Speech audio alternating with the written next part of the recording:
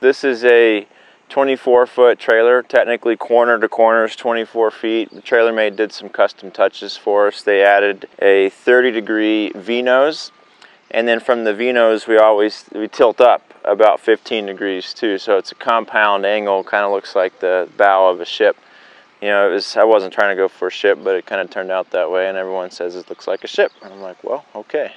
this is our full-time home. We're gonna move in. We've been living tiny in my smaller house, the first one I built. It's a little 16 foot, two people, two dogs, really cramped. You know, it was never designed for two people. So when Steph and I got married, we kind of knew we'd be building a bigger, nicer house for the both of us, and so this is the result of that.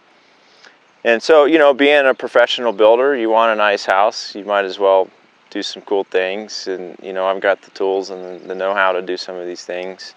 So I was saying it was 24, but it feels more like a 26 is kind of, we tell people it's more like a 26 foot house. So we've got 90% uh, reclaimed material on the outside. So on the passenger side wall, uh, that's all barnwood and we'll see these portholes from the inside in a little bit but those are you know real authentic portholes in a geometric pattern. The barnwood is a sunray kind of shape to match up with the the roof line. Uh, we did a it's reclaimed corrugated wainscot and that wraps around most of the house. And then on the the rear part that is I've always called it 5V crimp. Some people call it five star. It's a real popular roofing for barns and agricultural buildings back in the day, but we found some of that in Denver at a, a repurposed store, and thought, why not? It looks cool. So that's sort of the siding. The roofing is all new material. I don't like to put reclaimed stuff up there. I need the durability, and that's just corrugated, uh, 7 8 corrugated, 26 gauge, a little thicker. So um, it, it's it, we thought it would uh, be troublesome trying to bend it to the radius of the roof, but it actually, we just started in the low spot and worked our way out and it, it really just conformed kind of nicely and we didn't have to do anything special really. It was gentle enough slope that it, it fit. Uh, you know, another cool thing about the outside, uh, the French doors, those, you know, the door is your portal into your home. And so a lot of people say even if you're building big homes, that's sort of, that's one of those things you should put money into. You know, it's curb appeal. It's like that's your entrance. So that's we put a lot of uh, time making these doors. They're all handmade in my shop. Uh, my local glass guy was able to cut water jet that tempered glass for the door panes, and we also got really nice hardware. We didn't want just basic hardware. So you'll see, we'll do some close-ups. It's kind of a Victorian French knob sets, and then even the hinges are pretty fancy too. It's not my typical style, but my wife, she's a, a Francophile, and so she likes some of the old European stuff and flair. So that's kind of where that, you'll see some other touches like that too. Also, uh, you know, notable is the fold-down porch. So when we travel, uh, the porch folds up and then the awning, which is two solar panels, it's an aluminum frame, two solar panels, that folds down on top of. And I'll get you a picture of what that looks like when it's all folded up.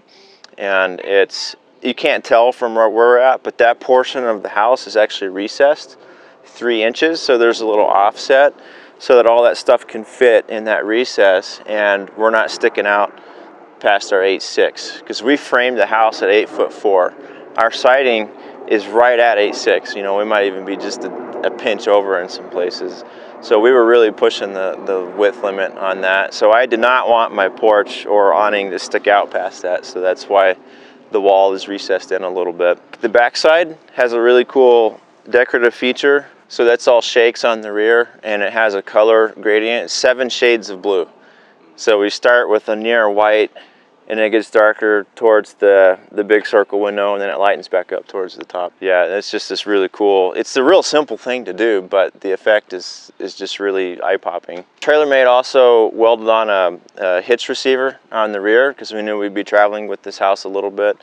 So you know as you can see we got a bike rack we got our two bikes and in between you know shows we can just hop on a bike and get a little exercise take the dogs for a run and that's that's kind of a nice feature especially if you're towing with something if you don't have room on your truck to carry extra stuff that that's a good way to carry bikes or boats or extra cargo, whatever else you might need. That's the main things on the outside, roof shape, materials, and um, porch awning.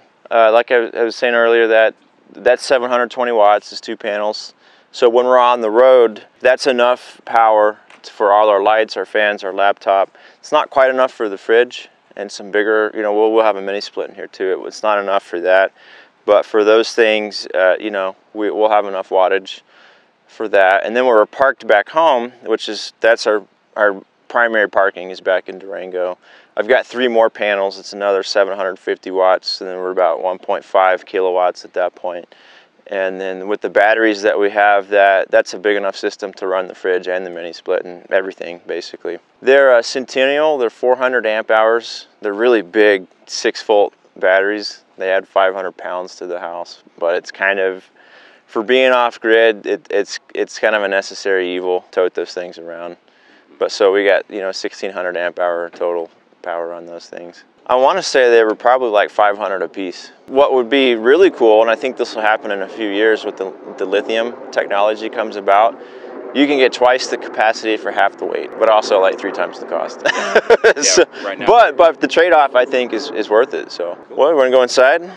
So now we're on the inside of the house, and if you thought the outside was cool, you know, we're just getting started. There's really they say the devil's in the details, and this house is, is no exception to that. We just went crazy on the details because we weren't having to pay a builder, so time wasn't an issue for us. And we just, some projects, I'm like, well, I don't care if it takes a week, let's just do it and make it nice and cool and, and share that with people. So, you know, perhaps the most unique feature on the inside is the elevator bed.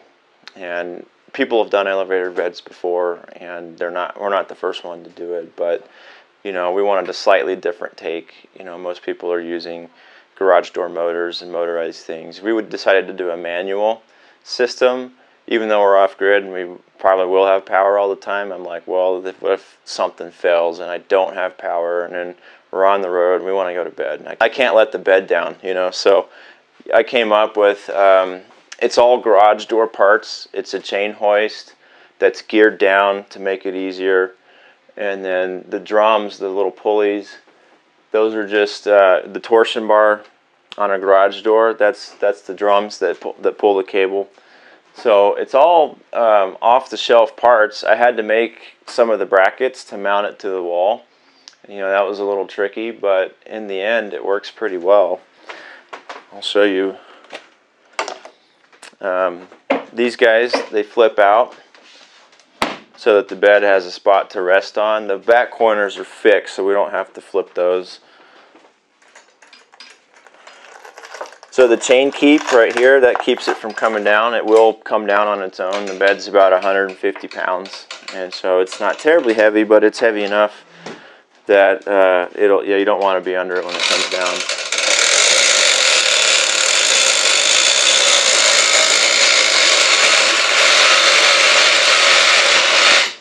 So that's all we do to let it down. And we have been living in the past two weeks on the road, and it's quite nice to sleeping in this thing because we don't need a ladder. We can both just hop up here, queen size bed, two people, and then we don't wake. Well, we do wake up, and we're we've got these 360 views. These big windows on you know a circle window, and these two big square windows all around us. So it's just like it's actually we don't have blinds, so it's almost a little too much. Sun's been rising at like 5:30. We don't usually get up till seven, so it's been kind of waking up early with the sun. It's it's cool, but it's just it's a little too bright. We're gonna get some window coverings. She's already picked out some pleated insulated blinds to come in here. Now this guy, we're not quite sure. I think it's just gonna end up being some kind of drape that we, you know, you can't make a circle blind, so. I think it'll be some sort of drape um, that, that we hang up here somehow. It's a really easy method. This material is just quarter inch pine, tongue and groove. They call it a V-edge. You can buy it at Home Depot. I buy it in bulk. I get like pallets because we do so much of this stuff. Uh, I get a discount, and I got it's all over the shop. And well, it's thin, it's light, and this is a real. You'll see a lot of this stuff in tiny houses all the time. But what you do for the whitewash so that you like you said you can let some of the wood grain pop through. Like there, you can see a knot. You can see some of the variations in the wood. You can buy a pickling stain off the shelf, you know, a Minwax or some other products out there. Or you can go the old school route, and that's just get some white paint, water it down 50 50 with water. So just a one to one mixture.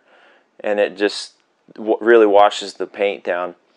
And then that's how you get your whitewash. And then it is kind of a thinner finish, so it would be a good idea to put clear coat. Just one, at least one, if not two. So that clear coat will help it stay a little more durable. You won't, you know, fingerprints and you rub things all the time. It just keeps it a little cleaner. Well, let me back up. Uh, the back wall is actually just drywall, quarter inch drywall. So we have SIP framing. It's a panel construction. It's OSB skins, both sides. So we're not having to try to hit studs everywhere. That's one of the main reasons I like SIPs because it just gives you a solid substrate in the entire house. And, you know, that made putting these brackets up easier. I didn't have to have a stud. I can screw straight to those SIPs, straight in the wall. You just have to use coarse thread screws, and they give you numbers, the SIP company. And they're like, this screw can hold, you know, pull out is 250 pounds, shears, you know, 1,000 pounds. And so you can do the math, and I've got like 10 screws per bracket. You know, I know they're going to hold just based on the ratings from the SIP company. So she did. She wanted the the back wall to be sort of an accent wall. So it's a it's a minty kind of color with some you know decorative trim to sort of give it some definition, and it's not so flat. Both when the bed is down and when it's up, you you get you see both aspects of that. So the ceiling, coming back to this, this is actually locally milled um, aspen. It's a shiplap. This is not an off-the-shelf product. The thing with this curvy roof is that you need a, a wood that can twist a little bit. It's so it's thin to conform to the shape of the roof.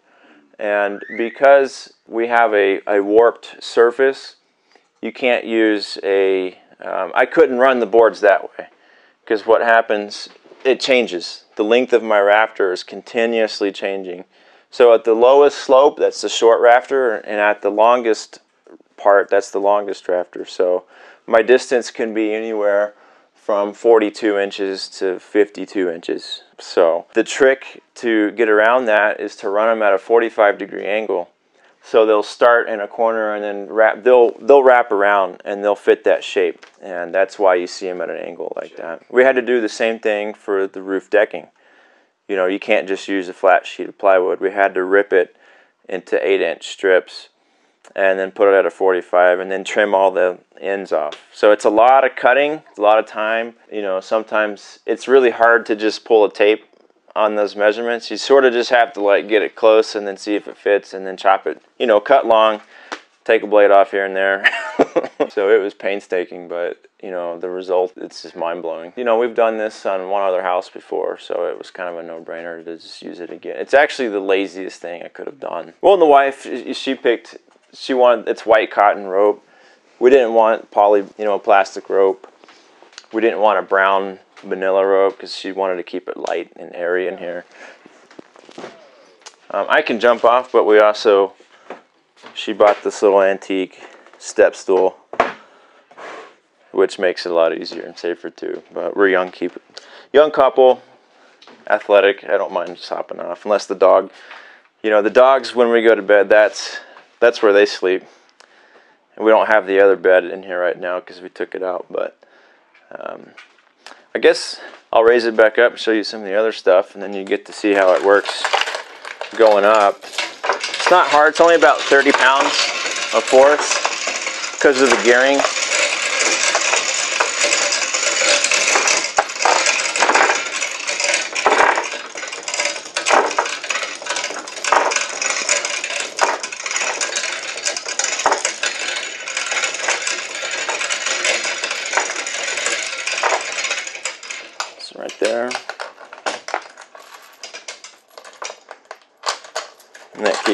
Coming undone accidentally. So when it's up, then we have our living room configuration. So basically we got double um, function in this space.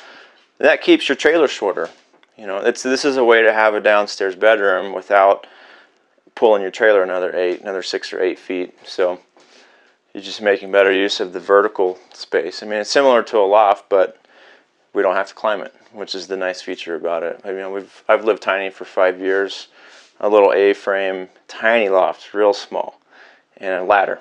And I'm just, I'm over it. So this is so much better than having to climb a ladder or stairs for that matter. Our living room is real simple. It's a built-in couch. We've got, the cushions aren't in yet. We ordered them, so this will be, she picked some kind of um, suave gray color to go on the cushions. And back here, we're gonna have a little pool. This guy, we've done this in a few other builds. This is our little laptop storage, so that flips open. This will fit two laptops in here. Charging station. Just comes back down, then it's an armrest. I didn't necessarily want to do a glue up here, but I, I ran out of wood. And so I had to just I had all these scraps laying around, so I glued them up and made that little guy. We've got, and then matches, there's some other glue ups you'll see in the house too. That's one of those little details, you know, that takes more time, but, you know, it gives it a little pop when it's done. So, so flipped around, I'm in the kitchen space now. And probably the beginning of the kitchen space is the, the dining area. We have two dogs. We needed a spot for dog food storage, so that's that's all dog food storage right there. And we've been on the road, so you know it's actually being used. And then when it's not storage, it's a bench. This uh, table is there's a slot that we built into the cabinet right here. It's real simple. It's nothing. There's no hardware. With this table, we can move it around. You know, uh, I have to build a leg for the corner when it's all the way out because it can't quite hold itself up. But you know, at this configuration, we can put two people here. We've got another bar stool. Uh, we could potentially seat five people at this little dining thing, and it's real simple. And then when we don't, we want to reclaim the space back. It just shoves back in, and then it's out. It's out of the way. Maybe a little extra prep space, or you know, for the show, even just right here, it's enough to do some work on. Laptop space, desk space, or just one person having breakfast or dinner. Yeah, if it's shoved all the way in, it ain't coming out. I mean, I'm putting a little bit of force on it. It's not moving, so. I hope it stays that way. I think over time it's going to just start wearing out, but we'll we'll cross that bridge when we get there. this is probably one of the uh, from the show, the feedback. This is like everyone loves the counter. That's like the next best feature other than the elevator bed. This is a they well, I don't know if it, they call it a Texas black mesquite. I didn't know such a thing existed, black mesquite, but you know, I, I really wanted a black a mesquite counter for the Southwest flare and the turquoise inlay. And so I, we shopped and shopped, and we just couldn't find a big enough piece, good enough price, the the character we were looking for. Of all the places I looked, eBay happened to be the source to find this. There was this guy down in Palmer, Texas. He just has his own little mill and just sells pieces of whatever he's got going on. He had the he had just enough. This is glued. It's not one piece. I had to glue it up. But from all the pieces, I think I only had one little square left of scrap. That's how like down to the wire we got. And I bought every piece he had. So it worked out. It's beautiful. The turquoise, everyone wants to know how he did it. Super simple. So the wood has natural cracks in it and I was able. There's a gem store in Durango. I was able to purchase some raw turquoise. It's they call it Sleeping Beauty. You know, it's a really sought after turquoise in the Southwest, and you just crush it, put it in a pipe, and crush it, put all the pieces in there, and you epoxy over it. That holds it.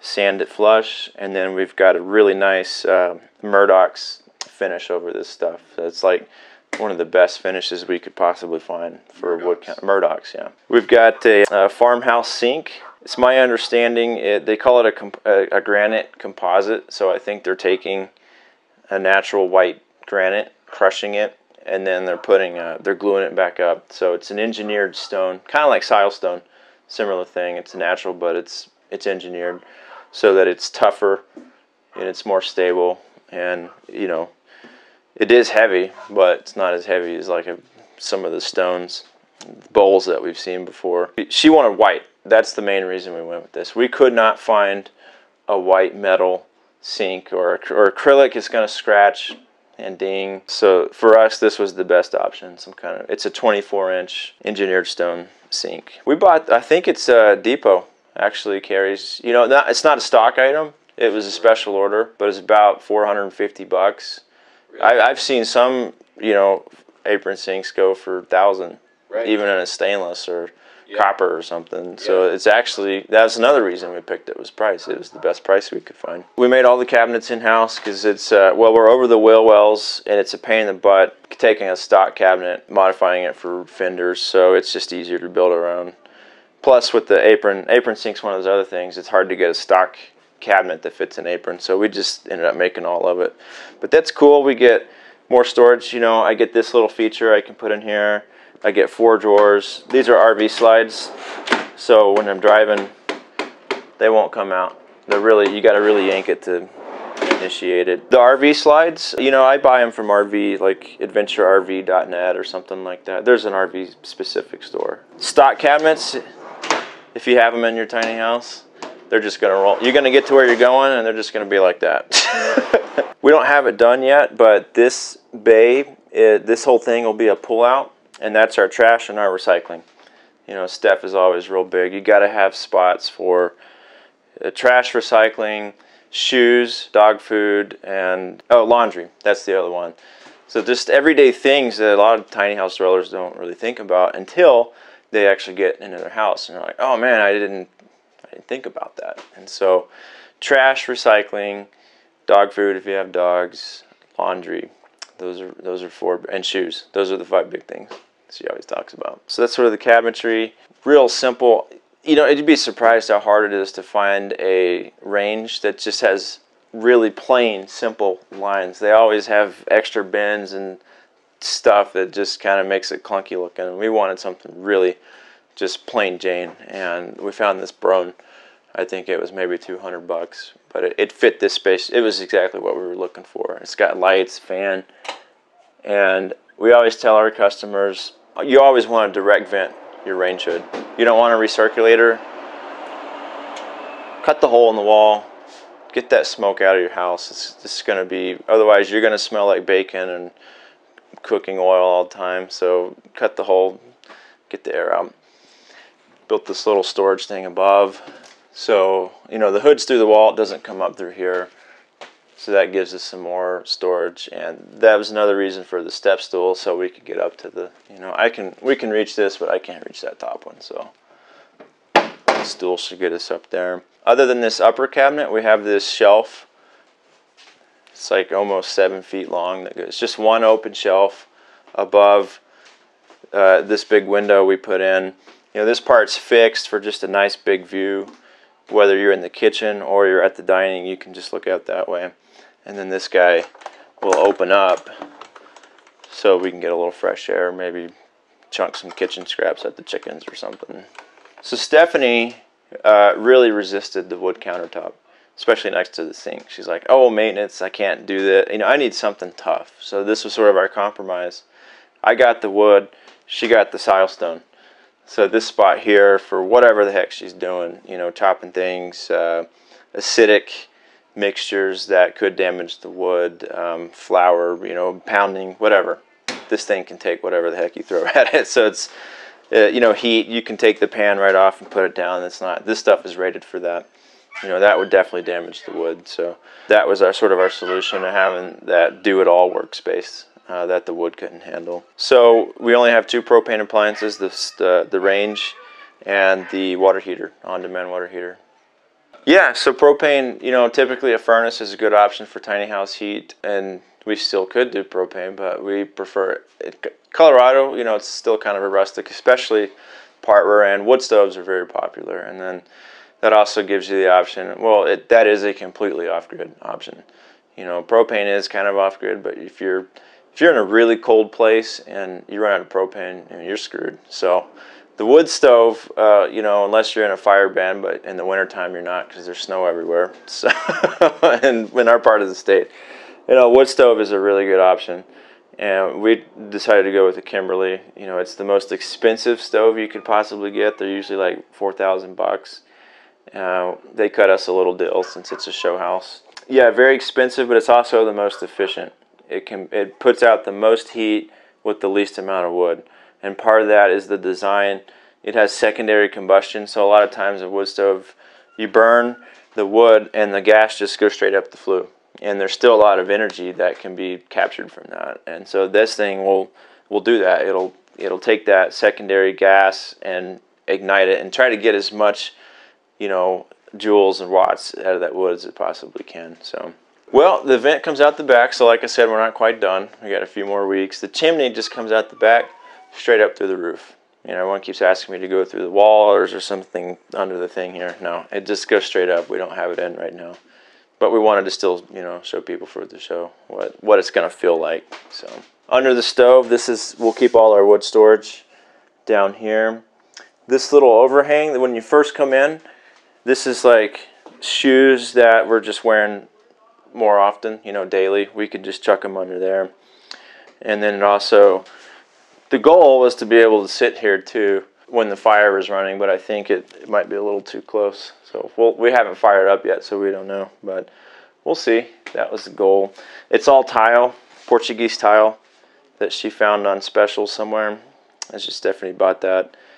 And, you know, a lot of people ask us about tile. Um, just how does it hold up with road travel? And it's it holds up fine. It's all a matter of, of the details once again. You got to use we use a product called OmniGrip. That's the adhesive. It's not a. It's a modified thin set, and that stuff is bomber. It is so good. It will not. I mean, it's slightly flexible, but the the holding power um, is just incredible. We had to like redo a tile on the subway, and um, it got a nick in it, so we had to try to. I could not pull. I had a crowbar I could not pull that tile off. I had to bust it with the hammer and chip it out. That's how good that stuff is. And then, of course, your grout, you you want to use a uh, modified grout. It has like a latex and it's, it's flexible too. So this above the tile, it's just a little decorative metal screen so that we don't have to stare at the side of our refrigerator all the time. And it, you know, mission accomplished. You can't tell that there's a fridge back there, even unless you, I mean, you can see the door here, but yeah, it works nice. So now we're into our food storage. That's another thing for Steph. You know, we've been on the road, so we're, we've got some stuff in here. But there's two of them. That breaks up the weight of having one big one. And then sometimes you don't need to pull the whole thing out. You just need to access a portion. So upper and a lower. It's all the cleaning supplies for the show and these just you know these are butter. Works really well. Next to the pantry we're moving into our closet area. So this is all uh, we did all this woodwork. This dove I have a jig for cutting dovetails. And I wanted to you know have some sort of decorative edges to the woodwork in here. This is all southwest walnut cut from like Arizona. So it's uh, it's a little lighter than like a Midwest walnut and you get that variation. But some people would never know that's walnut, but you know you see it next to that, and just an interesting, you know, again, sort of a homage to Southwest. So Steph has her closet here. That's all her. She can do whatever, you know, clothes and storage here. And then we have a his and a hers. So I've got five drawers and she's got five drawers. And these are cool. We didn't put hardware in these. It's just old school wood slides.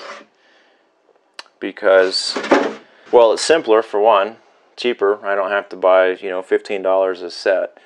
And then for three, anytime you're adding hardware, you're losing a half inch on each side. So you lose an inch total over that. And so this is a way to sort of get every inch does count in a tiny house. So that's sort of uh, a really easy way to do that. Yeah, these didn't budge the entire trip because the well, there's no ball bearings, you know, so there is enough friction to hold them, and then but it's not so much that it's just a pain in the butt to pull them. You do have to pull a little harder than a normal drawer. Sometimes less is more. Simple things go a lot further. Opposite this closet is my closet. This is also the guts of the house, so the water heater's in here, the electric panel. Uh, we're going to have off-grid water, so we'll have a pump. Well, the pump is in here. The tank will sit on top of the loft and help it feed water a little better. And then the batteries, those big four batteries at 500 pounds, they're going to sit in here too. But I still have enough room at the top to put on my shirts. And then this would be like underwear and shorts and socks, stuff like that. So the very front of the house is the bathroom that is our barn door that we made from we had a bunch of scraps of barn wood from the siding on the outside so we took a lot of the scraps and made I make a little jig that cuts those at the right angle, and you just glue them up and put them in there. Yeah, sunray pattern. And then that this is uh, just plexiglass. We didn't want to put real glass in case it broke or something, but a little lighter. And you can buy a film that you stick to the plexi, so it gives it that frosted appearance for privacy, but you still get some light coming through. This is all um, off the shelf hardware. Sometimes in tiny houses, you don't have the height you need to put those big, you know, commercial barn door rollers, so you can make your own stuff like that. Just a piece of steel, a little ball bearing roller. It's a pulley. I stole it from a pulley, and then a strap, and just put a bolt, and works pretty well. I don't have my stops in yet, but it still works. So the bathroom, it's one of the biggest bathrooms um, I've seen in a tiny house, and a lot of that has to do with the V-nose. Like I said, we got 30 degrees coming in, and then the wall goes up like that too.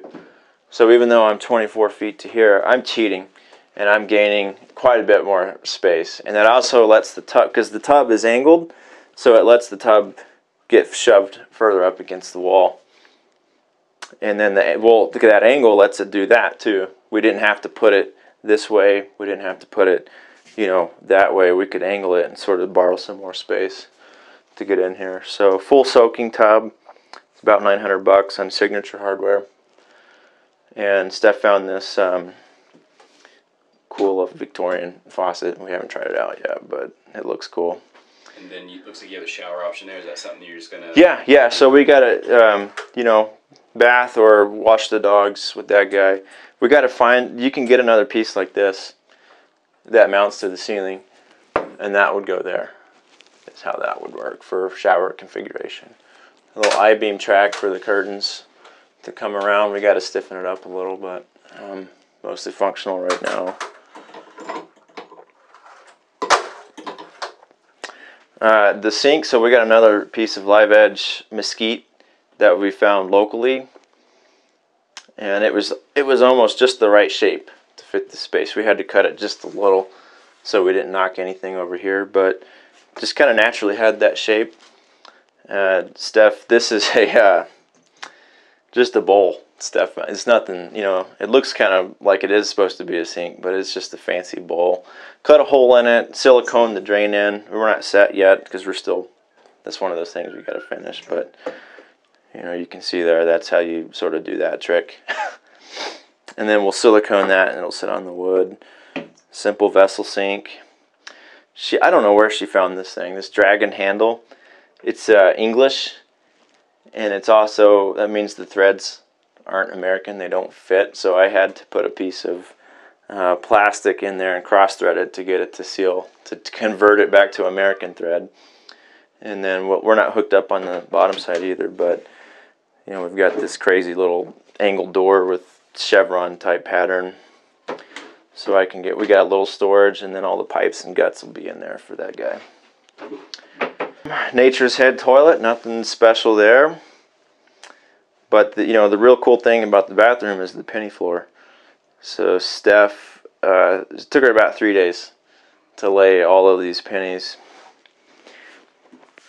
and it's just uh, epoxy, about an eighth inch layer of, of marine grade epoxy over the pennies, and that's what ties it and seals it. So pretty dazzling effect. So uh, this spot here, there'll be a linen cabinet or, or hutch. We're, we're trying to find an antique that fits the space, but we're it's a really hard space to deal with.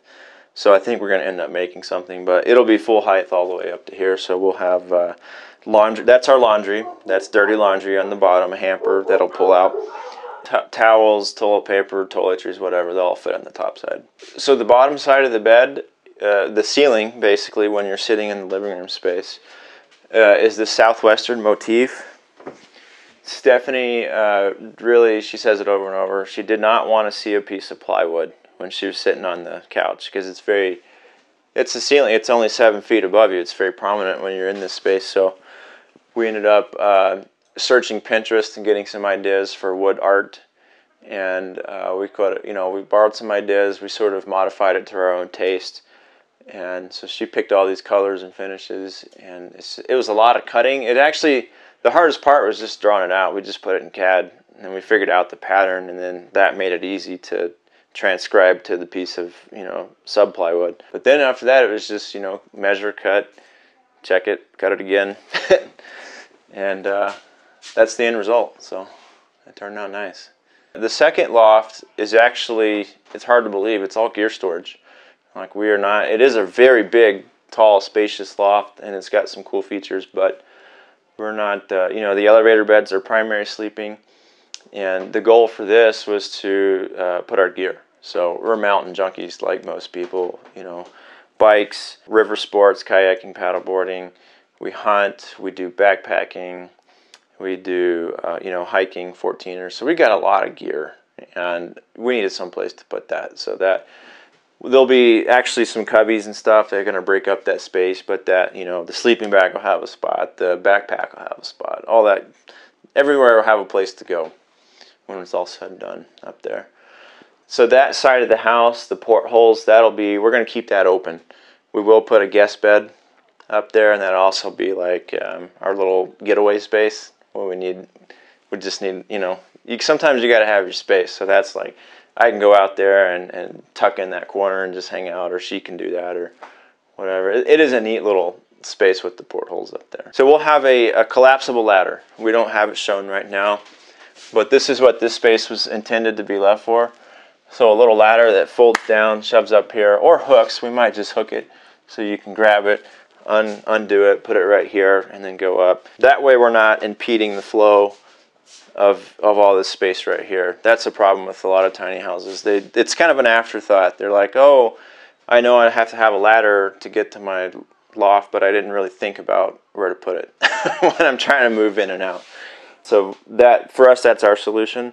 We're just not using that space very often, and so the hassle of having to take a ladder out just kind of outweighs the keeping the the feeling of openness. Sure, the lighting we that's you know lighting in a tiny house is super important. And it's one of those other things people kind of have afterthoughts. These they just they can't picture you know what spaces are going to need light the most. When you come in, you know, you need a right when you come in, you need a light, um, a general light, and then you start breaking it down into task lighting. And so, like under our bed here, we've got built-in lights. So at night, when we're watching TV or reading a book, you know, these are just little. They're not super bright. They kind of uh, it's enough to read, but not just wash everything out and hurt your eyes at nighttime. So that's sort of our main light. Um, we kind of had a steampunk industrial theme going with the lighting and some of the other hardware. So Steph had she had a lot of fun just hopping online and searching for light fixtures. The fan is actually an antique. It's like I don't know the year, but it's like 50s, I think. It's an old desk desk fan. I took the base off. I fabricated a pole and redid the wiring, and it actually once it gets going, it's sweet. It moves some air in this thing. An old Westinghouse, yeah. And I don't have it turned on, but the little oscillator, it still works too. So it'll, you know, if I can get up there and turn it, it would just be really slow. Just moves real slow. And it, I mean, you can hear it, but it's nice. Everyone who's been coming through the door, they just, because it's been hot the past few days. And with the wood stove, you know, it's it's very centrally located, which is good for heating the whole house. But the heat with these high ceilings, the the heat definitely stagnates up there. So that fan will blow that. You know, that was on high. We can put it on low, and we're going to recirculate that air and get it to spread down throughout the house. These two light fixtures uh, are antiques we picked up from a, an antique store in Denver, just old barn lights basically. Those are just cheap Home Depot sconces for now, but we're gonna, we bought the parts to do some insulator lights. So once again, I'm with Rocky Mountain Tiny Houses out of Durango, Colorado. You know, we're professional builders. Uh, this is our full-time job, but uh, again, this is my personal house that I'm sharing at the show. You can follow us on Facebook, Rocky Mountain Tiny Houses, or Instagram. Greg Tiny House Guy is mine, and then Stephanie is Steph. Let's see, Steph's underscore tiny underscore life. Yeah, and every